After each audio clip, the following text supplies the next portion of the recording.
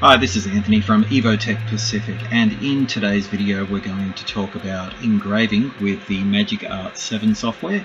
This software has been designed specifically for the Red Technologies brand of laser engravers. Uh, in particular today's uh, video we're going to be using the L3 30 watt laser engraver. But this software is also useful for the 20 30 60 and 100 watt L3 versions and also the 20 watt L2 version so basically what we're doing here can be done on all of those machines above and uh, we're going to talk about how to position an image and some text on this stainless steel pendant here. So what I've done is I've removed the, uh, the jump ring from the pendant itself and placed the pendant in the clasp and uh, if we take a look at the Magic Art 7 software uh, we can see here that uh, the stainless steel pendant is sitting in our uh, metal clamp here. What we're going to do first is let's take a look at how to bring in an image. So I'm just going to click on the little picture uh, icon here, select my file, and then I'm going to just draw how large I want that particular file to be. So uh, I'm going to just position that just so that it's kind of down the bottom here and uh, I'm doing this using the onboard camera that's included with the L3 laser engraver. And uh, I'm just going to scale that up just by dragging this up a little. Somewhere say somewhere like that there. Alright. So I've got uh, you know the bottom of the pendant here the top and at the top section here I'm just going to type in mum. So to do that I'm just going to click anywhere in the screen and click on our font or our text input. Uh, we're going to select a place where we want to uh, engrave. So I'm just going to type in mum. And the font that we're using here is the uh, Segoe script. Uh, you've got a whole different uh, bunch of options as far as your fonts are concerned. Basically anything that happens to be on your computer will also uh, populate in this list here. Just be aware that there are some fonts that um, you know do require uh, payment up front uh, when you purchase the fonts in order to be able to use them in a commercial sense. And others are uh, free to use when it comes to uh, personal use only so always be aware of that. Uh, alright so I'm going to uh, position where I want the word mum or the name mum to be.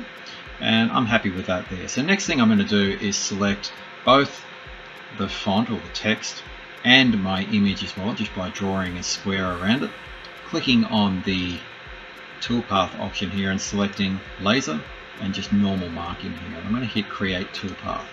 Now what that'll do is it'll give us an orange preview of the toolpath itself. If you zoom in there you can see uh, the hatching there that's going to happen. That hatching is pretty tight so uh, I'm not uh, I'm not too concerned with how that looks. And then what we're going to do is if we're happy with that, click on Magic Laser.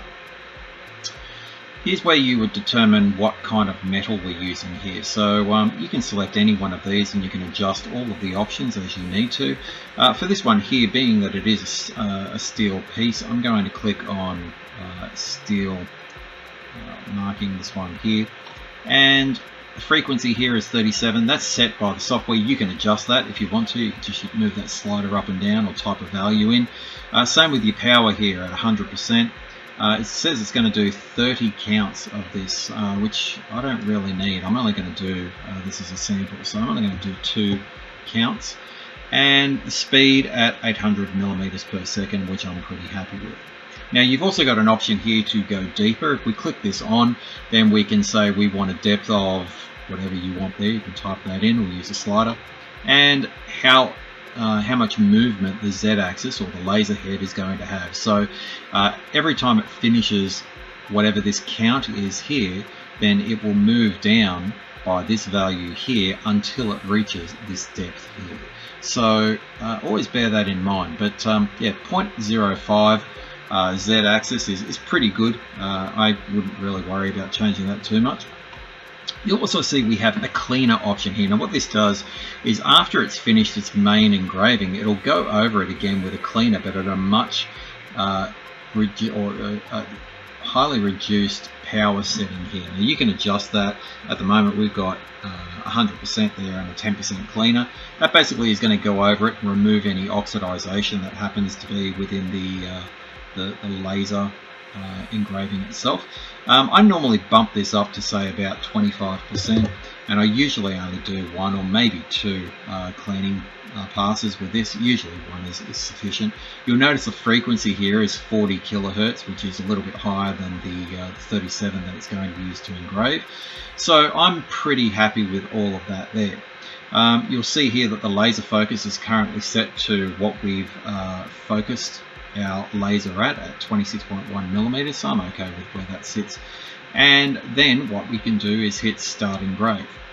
After that, we get this message here. Once we hit the start button, then the uh, door will go down, the safety door will go down, and the engraving will begin. So if we're happy with all of that, let's click on start and we'll do the engraving. Okay, so what we can see here is the safety door has come down and the beginning of the engraving uh, cut has begun. It'll do two of these and then after this is finished then it will go through its cleaning stage. And as I said before that's just going to remove any of the oxidized area that has been engraved. And you can see there it really cleans it up nicely. And that was at 25% uh, whereas the engraving passes were both at 100% power.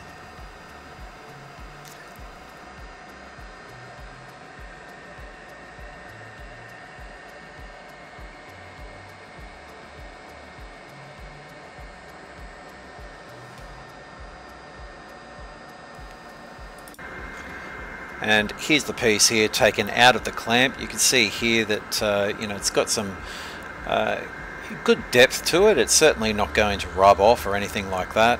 And so what we'll do after this is we'll give it a very quick polish just to get rid of some of that oxidization around the outside of the engraving.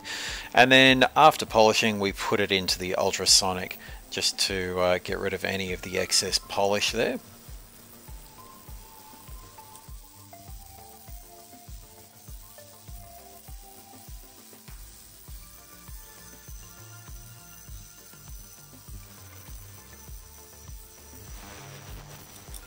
Depending on the engraving and the material, sometimes it's good to have a, uh, a small toothbrush just to get into those areas that uh, perhaps the Sonic isn't getting into.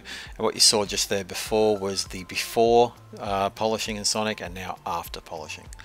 Right, I hope that video has been helpful. Please feel free to subscribe. Thanks for watching.